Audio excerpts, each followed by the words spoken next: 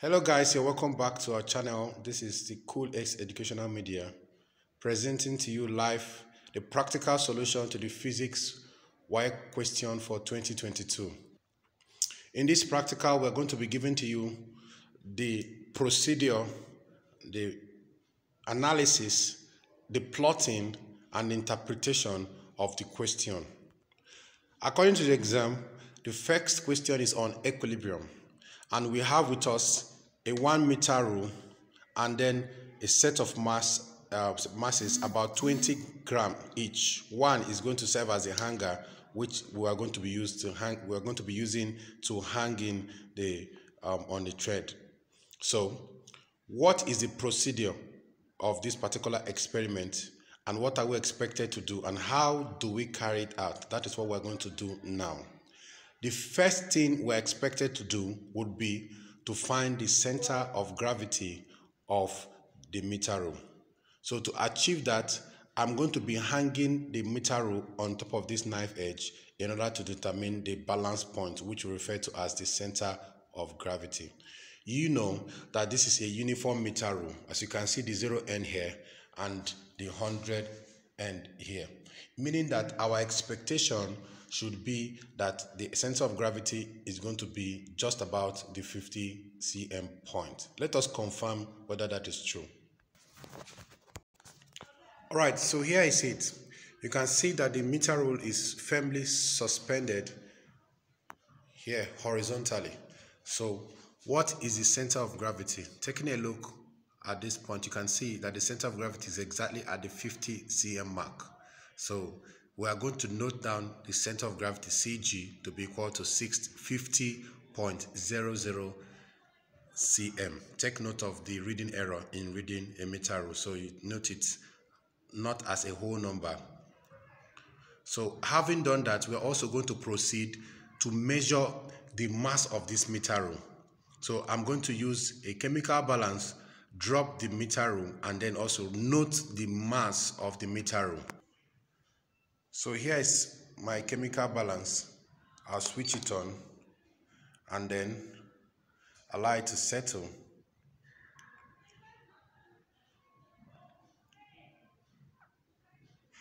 You can see the pointer is at the gram, gram mark.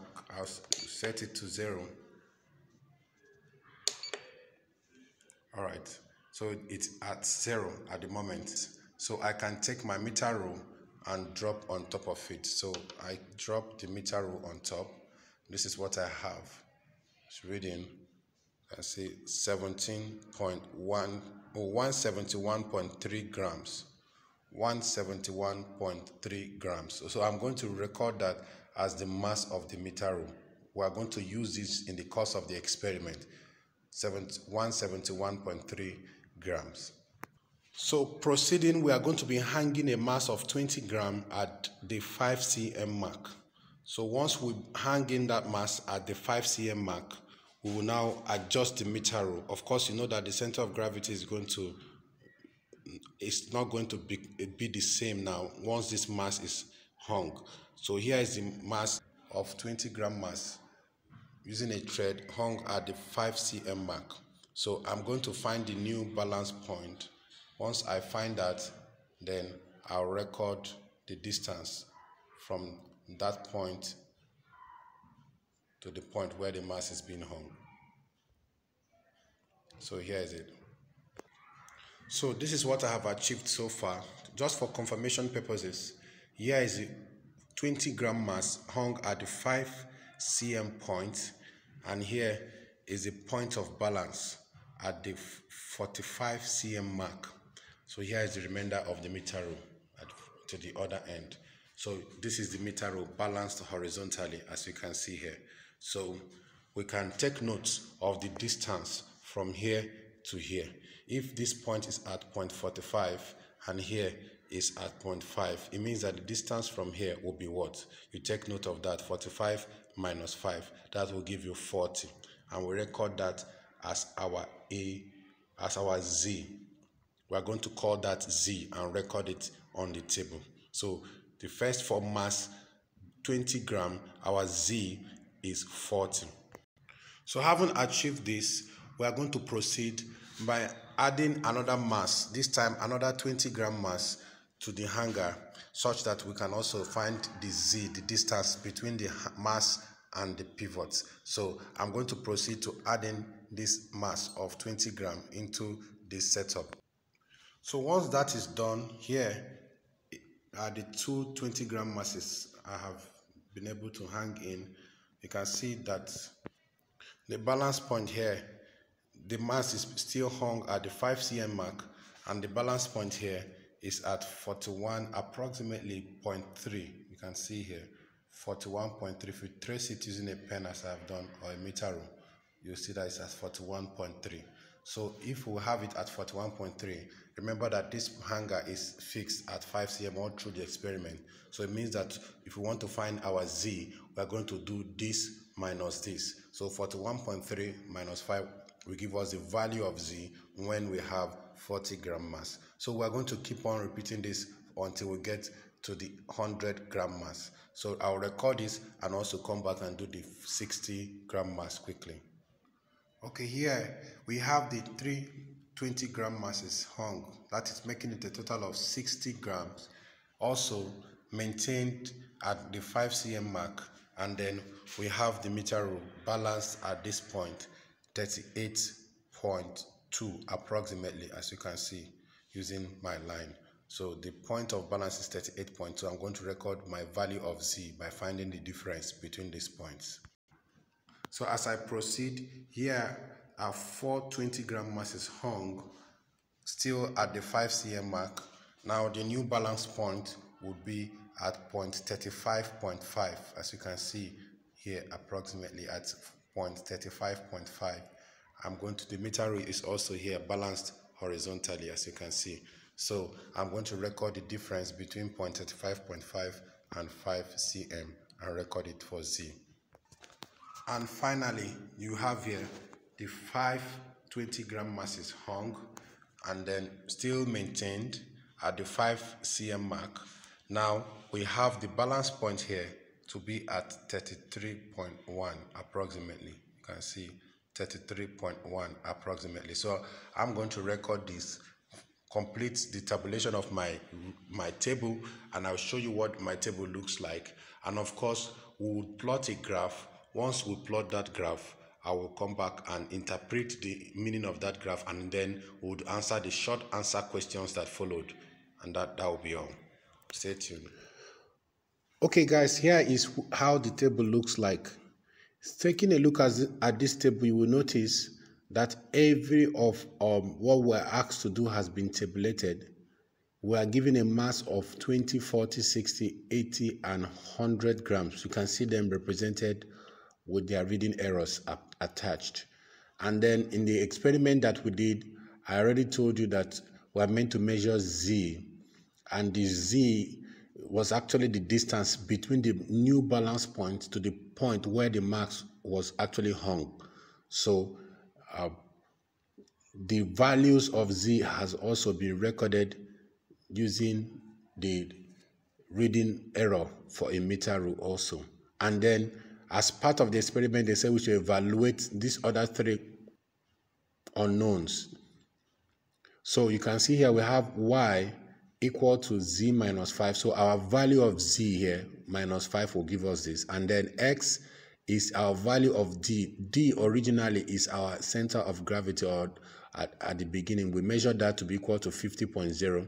So d minus what we've gotten as our z here would also give us so 50 minus 40 will give us 10 and that also for the other values and then finally, we're meant to find the value of v, which is equal to this x that we just finished computing, and then the y on the other hand. So once we do that, we also get these sets of values. So you can see that this experiment is well dependent on the z, meaning that if the z is wrong at any point during the conduct of this experiment, the implication is that the outcome of all these three unknowns will also be affected. So here is how the table is. And then on top of the table, you will see where we wrote down the basic components of what we measured. The center of gravity, which was 50 cm. The mass of the meter, which we measured using the chemical balance to be equal to 171.3 grams. We denote that as m naught, and then the d, which is the distance from one end to the center of gravity, as 50 cm. So here is our table of results. Now, if you check the question, we're asked to plot a graph of m on the vertical axis and v on the horizontal axis, starting both axes from the origin. So if I plot a graph of m against v, this is how the graph is going to look like. You can see it's a straight line graph making contact with the horizontal axis first. So if the intercept in the question is to the vertical axis, it means that it's going to be negative.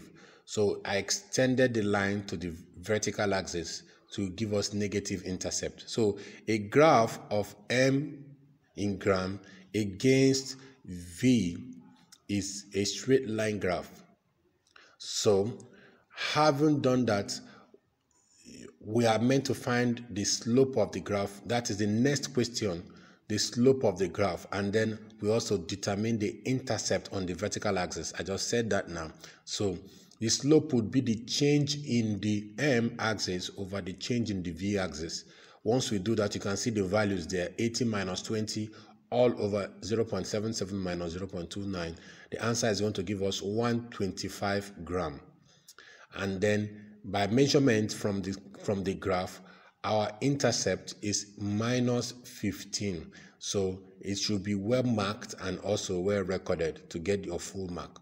So I haven't answered that. The next question will be to state precautions that are taken to ensure accurate result. Of course you know that this is a mechanics experiment so we need to avoid drought majorly and then parallax error. So if there are wind effects around the area where this experiment is being conducted you need to minimize that or reduce that. So owning, offing your fan rather, offing your fan would be a good practice to enable you get accurate results, especially to help the meter to balance. So you state that I avoided draft, and then you also state that I avoided parallax error in reading the meter amongst other uh, precautions that you would take um, during the experiment or you you obeyed during the experiment. Aside of these other uh, experimental questions that they ask us, there are some two short answer questions also that have been asked here. One of them would be under what condition is an object said to be in a stable equilibrium? Under what condition is an object said to be in a stable? Of course, we know about stability of an object. There are three types of equilibrium in terms of stability. One, stable equilibrium, unstable equilibrium, and neutral equilibrium. So the condition for an object to be in stable equilibrium will be that number one, the body, that particular body would have a low center of gravity. So number one condition will be low center of gravity. Number two will be if it has a large base. Number three would be that the potential energy must be at its lowest. Number four is that if it is slightly displaced from the equilibrium position, the line of action of its wave will pass through the base. And then number five would be that if when slightly displaced from rest position, it does not topple over, meaning that it will return to its original position. This and many more are some of the conditions for an object to be in stable equilibrium. Finally, if you look at the question also, there is a calculation question there where we were asked to find the distance of a support from the 100 Newton body for it to balance horizontally. And that question it said a uniform beam of weight 50 Newton has a body of weight 100 Newton hung at one end of it. So if the beam is 12 meters long, we are asked to determine the distance of a support from the 100 Newton body for it to balance horizontally. Of course, to answer this question, I have to sketch it for you.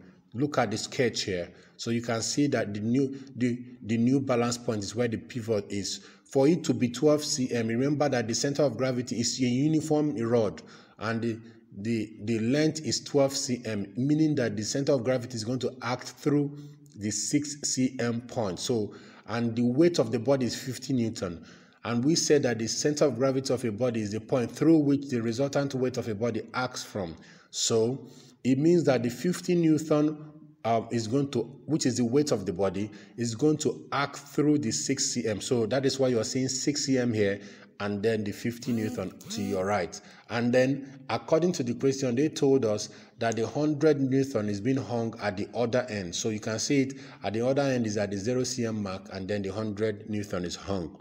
So they're asking us the distance where the support is going to be, and it is unknown. So we label it as X, meaning that if your left hand side is X, meaning that the remaining distance from the center of gravity to the new pivot would be 6 minus X. So using the principle of moment, we know that the sum of the clockwise turning moment is equal to the sum of the anti-clockwise turning moment. So about this point. So multiplying, and we know that moment is equal to force times perpendicular distance. So the clockwise moment is equal to 50 times or bracket open 6 minus x and then the anti-clockwise moment is equal to 100 times x. Solving mathematically would get that x is equal to 2 cm.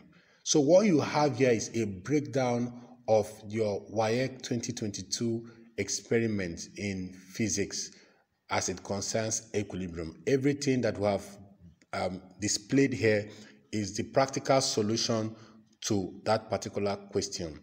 I believe that it was actually very easy for you to understand. Look out for the other questions and, of course, from other experiments following suit or following through. Stay tuned. We appreciate you. Thank you very much. God bless you.